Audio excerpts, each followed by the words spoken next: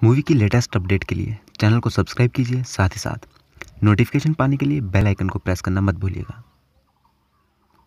Hello, नमस्कार दोस्तों, आप देख रहे हैं आरवीज न्यू मूवी अपडेट्स आज इस वीडियो में मैं आपसे बात करने वाला हूँ रोबोट 2.0 के बारे में। जहाँ दोस्तों robot 2.0 superstar Akshay Kumar and superstar हमारे रजनीकांत सर, दोनों की मूवीज़ चाइना में रिलीज़ हुई थी।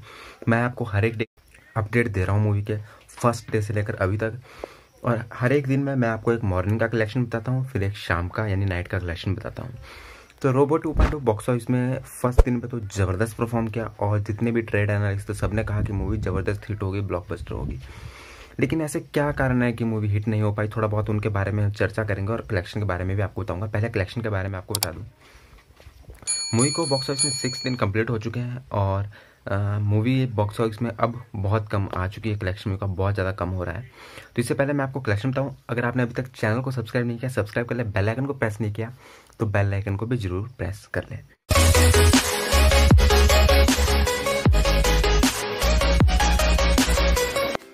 तो डे सिक्स मूवी का है आज, अभी तक। अगर आप इंडिया का टाइम देखेंगे तो इंडिया में अभी जो टाइम हो रहा है, वो है बारह तीस बारह बजकर तीस मिनट।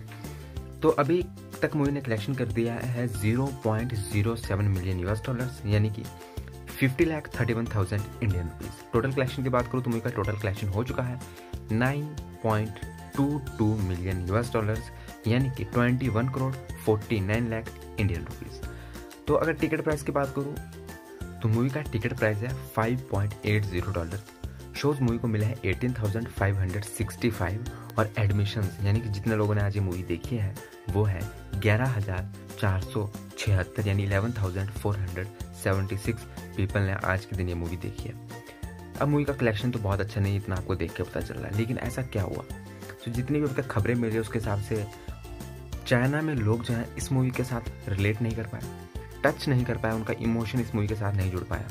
अगर मैं आपको बैक चाइना में बॉलीवुड मूवीज़, पिछली बॉलीवुड मूवीज़ के साथ ले चलूँ बड़ी बड़ी मूवीज़ चाहे वो एक इमोशनल मूवी में आप चाहे वो बेंगलुरु के जो मेन थ्रिलर वाले मूवी को शोज़ मिले उनको उनके पास अगर मैं लेना तो फाइव दंगल शो जिसे बेंगलुरु में दंगल जिसमें से होने के साथ साथ फास्ट फीलिंग होने के साथ 95 शो रहता है। जो कि जिसमें बाप और बेटे के बीच में बेटी के बीच में दिखाया गया था किस तरह से वो और काफ़ी ज़्यादा ऐसे शोज़ है जिनमें बुक बाप की तरफ़ से बेटा तो हाउसफुल तैयारी करवाता है कुछ 99 98 किस तरह से वो लास्ट में जीत वहीं अगर बात करूँ उसमें दिखाया गया था। हैदराबाद तो हैदराबाद में मूवी को 89 शोज़ में क्या था? उसमें भी एक में से 90 मोशन जुड़ा हुआ फास्ट फीलिंग उसके साथ बाप किस तरह से करूँगा चेन्नई की फैमिली होती है और बाप किस तरह से बेटी को जो बाहर नहीं निकलने देता उसको गाना नहीं गाने देता। कन्नड़ लैंग्वेज उसमें दिखाया था। वो भी एक कन्नड़ लैंग्वेज में स्टोरी बेंगलुरु में और चेन्नई में शो बजरंगी भाईजान में बात करूँ हैदराबाद को हैदराबाद में खान होते हैं हिंदी में शोज़ मिले वहाँ पे भी काफ़ी बड़ा इमोशन सॉरी तेलुगु में शोज़ मिले एक मूवी अभी तक थ्रिलर वाली मूवी बहुत सस्पेंस है तो अभी को अगर हम देखें